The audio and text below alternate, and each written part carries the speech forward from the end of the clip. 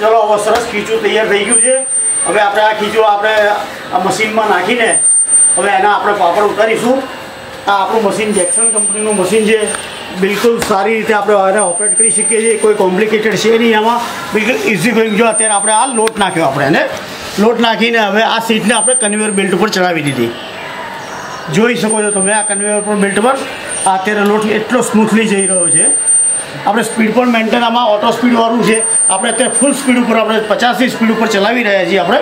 અને એકદમ એ પચાસની સ્પીડ પર પણ આપણે ઉપાડી શકીએ એ રીતનું મશીન છે આ. ઇઝી ગોઈંગ ઉપડે છે પાપડ કંઈ વાંધો નથી આવતો. કન્વેર રાઉસ થઈ ગયું છે. કશો જ વાંધો નથી આવતો. ઇઝી ગોઈંગ પાપડ ઉપડે. પછી એટલો સ્ટ્રેને નથી પડતો. ફટાફટ બેચ ઉતરી જાય તમારી. ઓછા ટાઈમમાં વધારે પાપડ ઉતરવાની ઉત- ઉતરશે અને બહુ જ સારી રીતે મશીન વર્ક કરે છે. અને ક્યારે આમ તમને આમ એવું ના થાય કે કેમ મશીન લીધું? સેટિસ્ફાય છે અને બહુ જ સરસ રીતે પ્રોડક્શન ઉતરે છે અને પાપડની ક્વોલિટી એ જળવાય છે. પહેલાં અમે આખો દિવસ મેન્યુઅલી ઘરે કામ કરતા. ત્યારે છ કલાકમાં માર સાતથી આઠ કિલો નવ કિલો પાપડથી વધારે નહોતા ઉતારી શકતા. હવે લગભગ ત્રણથી ચાર કલાકના ગાળામાં જ અમે ત્રીસથી પાંત્રીસ કિલો પાપડ એમની ઇઝી ગોઈંગ ઉતારી શકીએ છીએ. અને આ આ મશીનની પાછી એક બીજી ખૂબી બહુ સરસ છે કે આમાં આ રોલરની ડાયને સેટ કરીને જાડા પતલા કરવા હોય પાપડ, કે આમાં તમારે ડાય નાની મોટી કરવી હોય તો પણ આમાં બધી બધી જાતના હોલ આપેલા હોય છે અને એ પ્રમાણે તમે કરી શકો છો. અને આ પાપડનો બિલકુલ બીજું એક કારણ એ કે આમાં બિલકુલ અવાજ નથી. એટલે તમને બિલકુલ બી આ બિઝનેસ કરતી વખતે કે આ મશીન ચલાવતી તમને કોઈ મેન્ટલી ટોર્ચર નથી થતું, કોઈ હેમરિંગ થતું નથી. હવે જો આ આજુબાજુનું જો વેસ્ટેજ છે, એને પણ આપણે ફરી કામમાં લઈ લઈએ છીએ.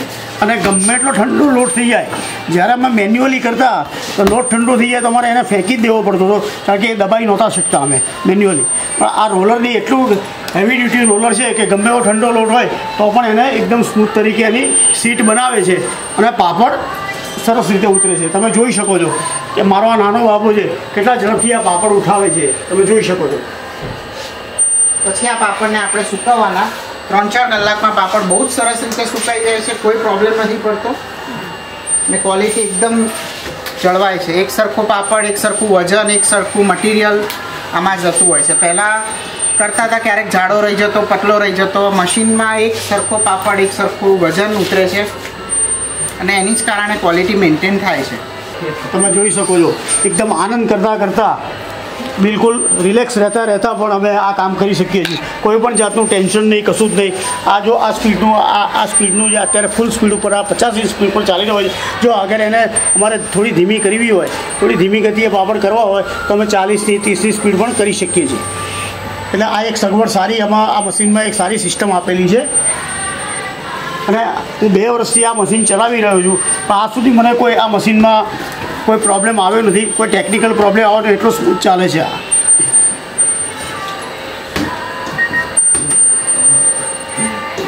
અને ક્યારે બી થાકનો અનુભવ નથી થતો મશીન પર. અને બહુ જ સરસ મશીન છે અને ખૂબ જ સારું ચાલે છે અત્યારે મશીન આ રેક રેડી છે. આપણે એને તડકામાં સૂકવી દઈશું. આ બે કલાક પહેલાંનો પાપડ છે. હવે જસ્ટ થવા આવ્યો છે. અને હવે અડધો કલાકમાં આપણે એને લઈ લઈશું અડધો એક કલાકમાં.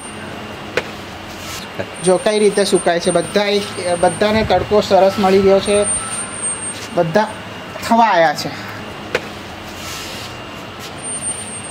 બસ થવા જ આવ્યા છે પાપડ. આ રીતનું પેકિંગ હોય છે એનું. કિલોનું પેકિંગ આપણે પાંચસોમાં બી આવે છે પેકિંગ કિલોમાં બી આવે છે.